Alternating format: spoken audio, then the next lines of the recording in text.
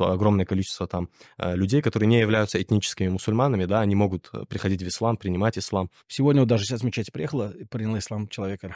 Каждый, вот у нас в мечети часто, если раньше посмотреть, почему принимали ислам, хотели выйти замуж за мусульманина, жениться на мусульманке, правильно, в основном, как-то было неискренно.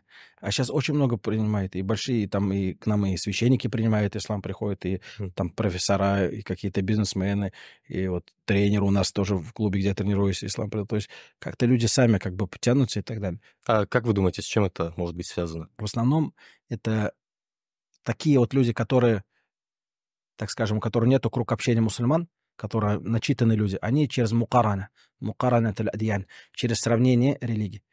Прочитал Тору, прочитал Библию, прочитал Коран, все вопросы закрыты.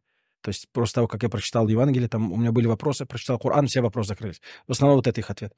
Там люди, которые, так скажем, молодые такие, они э, вот э, от э, общения, так скажем, с мусульманами, когда они гилк, ахляк свой показывают, нравственные качества.